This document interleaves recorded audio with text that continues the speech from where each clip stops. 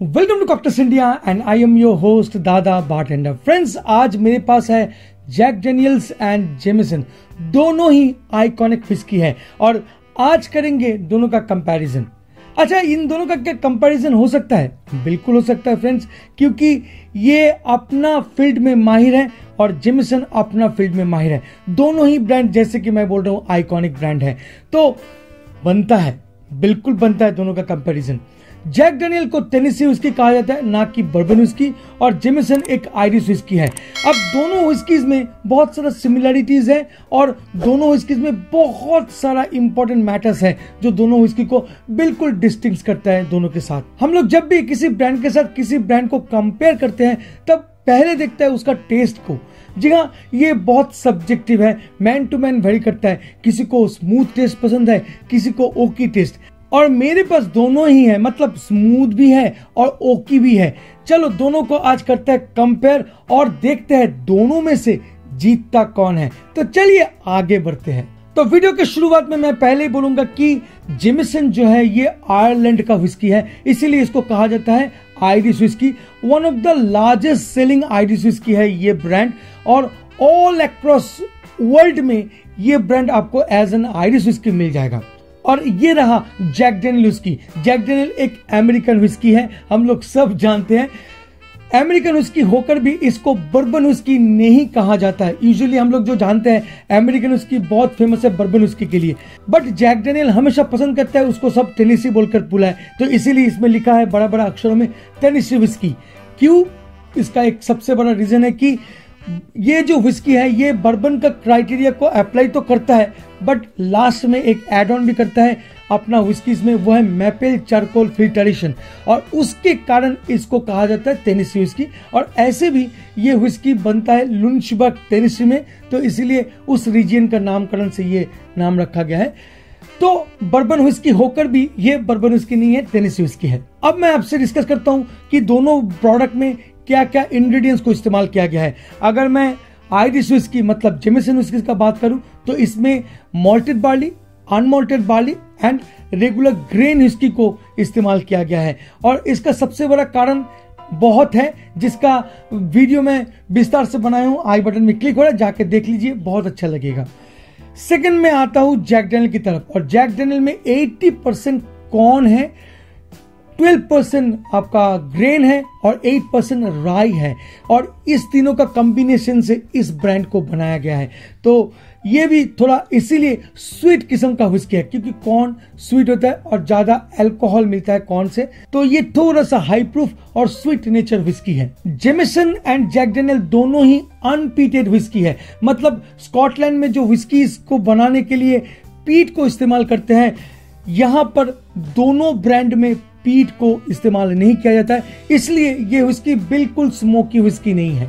अगर whisky making process का बात करूँ तो जेमिसन विस्की को पॉट स्टील मेथड से बनाया जाता है। एक traditional method that produce heavy alcoholic beverage with strong characteristic like aroma and body whereas Jack Daniel को पेटेंट स्टील मेथड से बनाया जाता है, जिस, जो एक्चुअली एक इंडस्ट्रियल प्रोसेस है, जहाँ से हाई प्रूफ एल्कोहल को अचीव किया जाता है, उस प्रोसेस को अप्लाई करते हैं। जेमिसन विस्की जो है, ये ट्रिपल डिस्टिल्ड विस्की है। फ्रेंड्स इस विस्की को तीन टाइम्स डिस्टिल किया जाता है। इसका कारण है कि ये आयरिश विस्की का रूल्स है और इसको फॉलो करना ज़रूरी है। आयरिश विस्की आप अगर बनाना चाहते हो तो। फ्रेंड्स अगर स्कॉच विस्की की तरफ़ देखूँ तो वहाँ पर टू टाइम मोस्टली डिस्टिल होता है और अगर मैं जैक डेनियल के साथ कंपेयर करूँ तो Jack Daniel one time distilled होता है, ना कि टू टाइम ना कि थ्री टाइम्स तो डिस्टिलेशन के मामले में जेमसन काफ़ी आगे है। अगर एजिंग का बात करूँ तो जेमेसन विस्की को एज किया जाता है बर्बन बैलेंस में शेरी बर्ज में और पोर्ट बैरल्स में। ये तीनों का कॉम्बिनेशन है जेमिसन विस्की और उसके कारण आपको एक मिलता है super mellow whiskey with lot of characters and spiciness और अगर जैकडेनियल का बात करूँ तो जैकडेनियल को हमेशा fresh American white oak charred oak barrel में मैच्योर किया जाता है।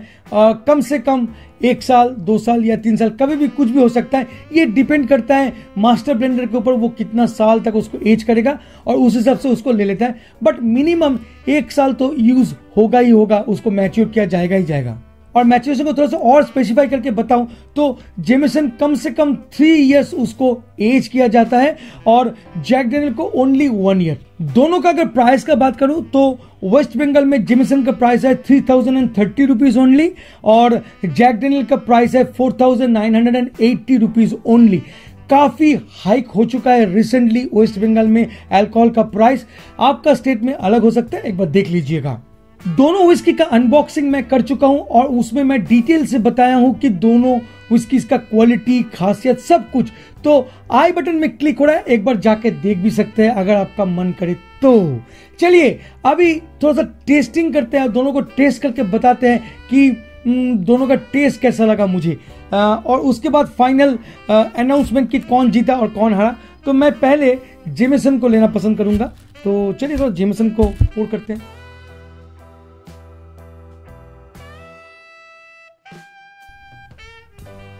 बहुत लाइट कलर विस्की है, बहुत ही लाइट एंड ये जो ग्रीन बॉटल है, इसीलिए शायद दिया जाता है। हालाँकि लाइट है, फिर भी मैं बोलूँगा कि इसमें आर्टिफिशियल कलर 150 को यूज़ किया गया है। तो चलिए नोस करते हैं। वंडरफुल फ्लोरल नोट मिलता है। टोस्टेड वुड नोट्स मिल रहा है मुझे। Little bit of vanilla smooth sweetness का एहसास साथ में मैं बोलूँगा कि थोड़ा सा फ्रूटी भी मुझे लग रहा है। कहीं ना कहीं मुझे थोड़ा सा मार्मलेट का नोट्स भी मिल रहा है पैलेट में।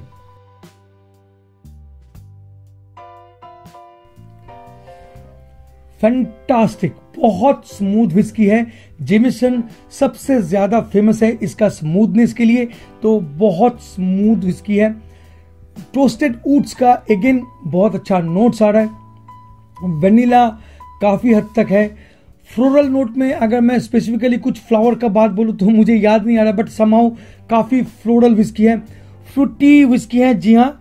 फिग का जो टेस्ट है, वो मुझे मिल रहा है। थोड़ा सा नटी भी लग रहा है, काफ़ी नटी है।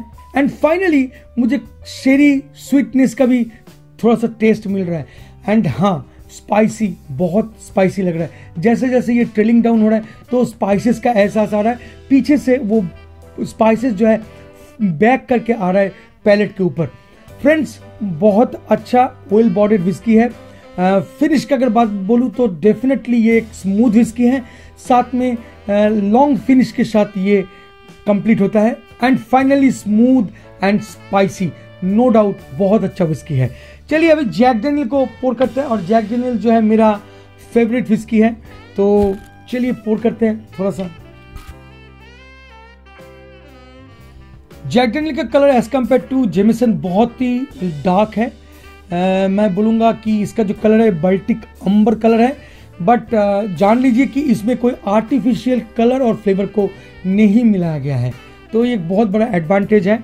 तो आपको जो भी मिलेगा बहुत जेनविन मिलेगा। चलिए नोस करते हैं।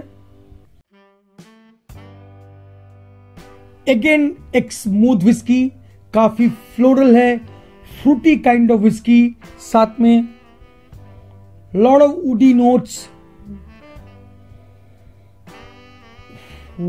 wonderful vanilla बहुत वेनीला का नोट्स मिलता है। Little bit of butterscotch का नोट्स मुझे मिल रहा है। Lots of caramel and oaky notes बहुत बेहतरीन नोट्स मुझे मिला। चलिए अभी थोड़ा पैलेट में लिखकर आपसे बताते हैं।